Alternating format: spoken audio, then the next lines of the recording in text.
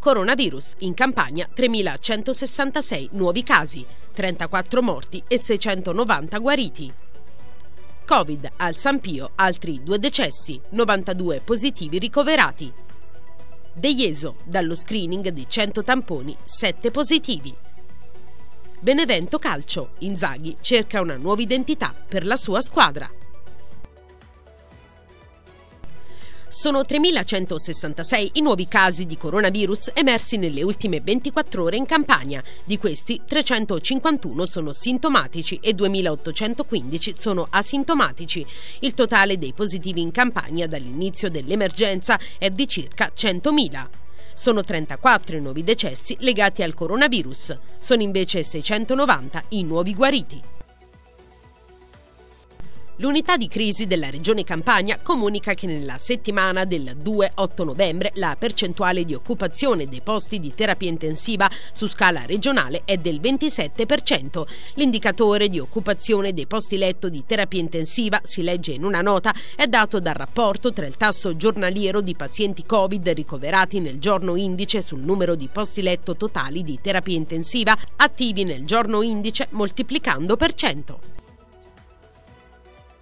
altri due decessi all'ospedale San Pio di Benevento. Sono otto le persone che hanno perso la vita da inizio settimana. Si tratta di una 65enne di Ceppaloni e di una 74enne di Telese Terme ricoverati da diversi giorni nel principale ospedale cittadino. Dall'inizio della seconda emergenza che risale al 1 agosto il Covid ha fatto registrare 27 decessi di persone residenti nel Sannio.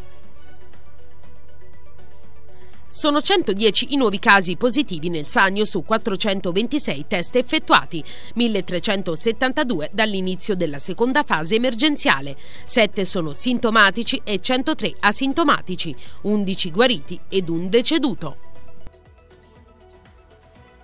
sottoporrò al Comitato per la Sicurezza una serie di misure, così il sindaco di Benevento Clemente Mastella che lancia un nuovo messaggio ai suoi concittadini in questa seconda ondata che tra poco vedrà la miscela esplosiva di Covid e di influenza stagionale, sembra quasi che la salute conti meno che in primavera.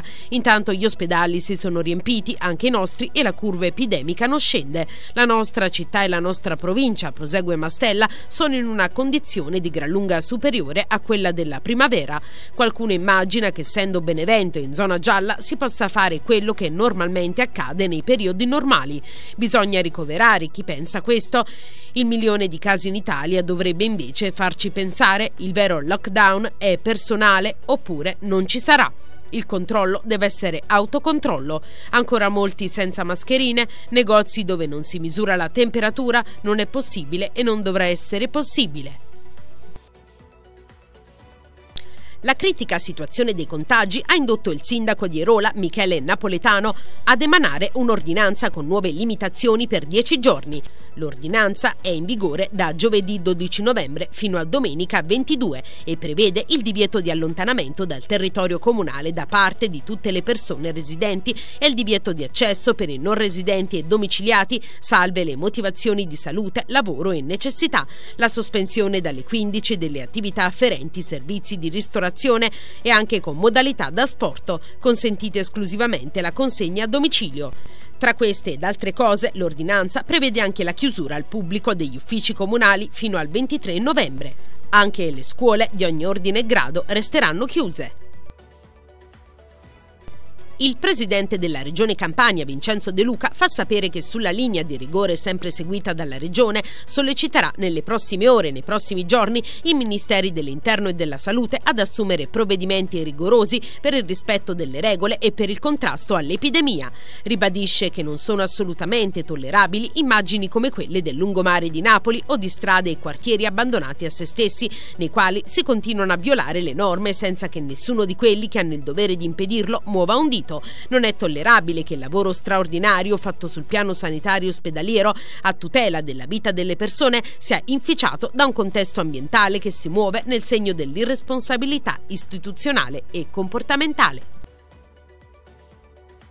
L'Asia di Benevento, di concerto con il Comune, comunica ai cittadini che è sempre operativo il servizio di raccolta rifiuti per coloro che risultano positivi al Covid-19 o che sono in quarantena obbligatoria o fiduciaria presso le proprie abitazioni. A questi ultimi, dopo una segnalazione all'azienda da parte del Comune, saranno distribuite buste e contenitori speciali. I rifiuti andranno conferiti due volte alla settimana, lunedì e giovedì dalle 12 alle 13 e andranno esposti a piedi portone su solo pubblico e non insieme ai rifiuti degli altri utenti.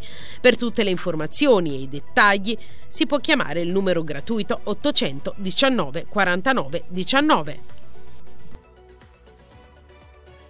Dei circa 100 tamponi nasofaringei effettuati domenica mattina abbiamo avuto notizia di sette positività di cittadini che abbiamo messo già in quarantena obbligatoria, lo scrive il sindaco di Pagovegliano Mauro De Ieso. Abbiamo circoscritto e monitorato le attività e i contatti avuti dai soggetti interessati e ancora lo stiamo facendo con il chiaro scopo di tutelare le persone in un clima di piena e reciproca collaborazione.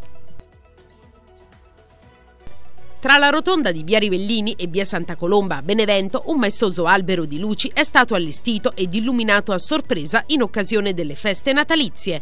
Un'idea dell'azienda Erga Green che cura anche la manutenzione del manto erboso dello stadio Ciro Vigorito e delle cinque aree destinate a verde che si trovano nei pressi della struttura sportiva, una delle quali ora sarà affidata al Panathlon presieduto dalla dottoressa Danila Vitale. Un monito di speranza e di gioia per esorcizzare il difficile momento momento che stiamo vivendo caratterizzato dall'emergenza coronavirus. Un 24enne si è tolto la vita con un colpo di fucile in una proprietà di famiglia nelle campagne di Pietrelcina, senza lasciare nessun biglietto o messaggio che lasciasse comprendere ai familiari il motivo della tragica decisione. Sul posto sono intervenuti i carabinieri per le indagini del caso e i sanitari del 118 che non hanno potuto far altro che constatare il decesso del giovane. Il TAR Campania ha respinto due nuovi ricorsi proposti per la sospensione dell'ordinanza 89 del Presidente della Regione, con la quale si sospende l'attività didattica in presenza in Campania fino al 14 novembre. Il TAR aveva già deciso in tal senso in due occasioni, il 19 e il 9 novembre. Nel pomeriggio, inoltre, ricorda una nota della Regione, il Consiglio di Stato ha confermato le pronunce del TAR Campano pur chiedendo alla Regione il deposito di un'ulteriore documentazione istruttoria. Resta pertanto confermata la didattica a distanza così come stabilito dall'ordinanza regionale. Nuova seduta del Consiglio Comunale da remoto con la modalità Question Time per la trattazione delle interrogazioni riguardanti l'assunzione di personale, l'esecuzione del progetto di ripulitura Monumento Manfredi di Svevia, Casa Albergo San Pasquale, lo stato di attuazione della fase 2 RDC, la promozione Serie A, festoni pali pubblica illuminazione, i lavori di manutenzione contrada Torre Alfieri, il servizio pubblico scolastico, la rassegna città spettacolo, la sospensione utilizzo acqua Rione Libertà e la problematica di Sesto e Osl.